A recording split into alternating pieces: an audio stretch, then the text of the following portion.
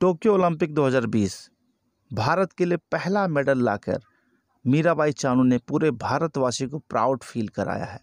26 वर्षीय उनचास किलोग्राम की वर्ग कैटेगरी में मीराबाई चानू ने क्लीन एवं जर्क में 115 किलोग्राम और स्नैच में सत्तासी किलोग्राम से कुल 202 किलोग्राम वज़न उठाकर रजत पदक अपने नाम किया है।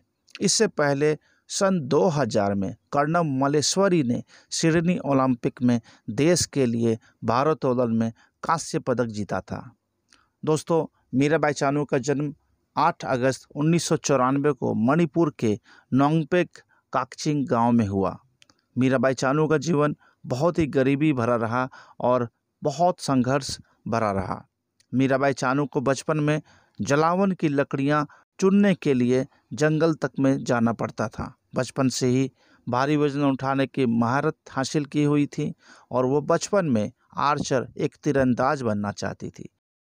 पर कक्षा आठवीं में आकर उन्होंने मशहूर वेटलिफ्टर कुंजरानी देवी के बारे में पढ़ा और अपना लक्ष्य बदल दिया। 2014 में ग्लासगो कॉमनवेल्थ गेम्स में 48 किलोग्राम कैटेगरी में उन्होंने भारत के लिए सिल्वर पदक जीता। और लगातार अच्छे प्रदर्शन करने के बाद रियो ओलंपिक्स के लिए क्वालिफाई किया।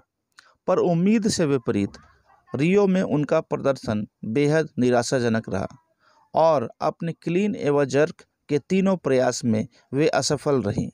वे अपनी इस असफलता से इतना टूट गई थी कि वो खेल से दूरी तक बनाने का निर्णय ले लिया था।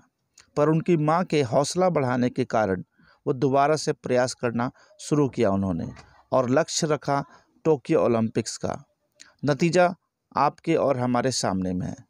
क्लीन एवजर के विश्व रिकॉर्ड होल्डर 119 किलोग्राम और टोक्यो ओलंपिक की सिल्वर पदक विजेता मीराबाई चानू को बहुत बहुत बधाई।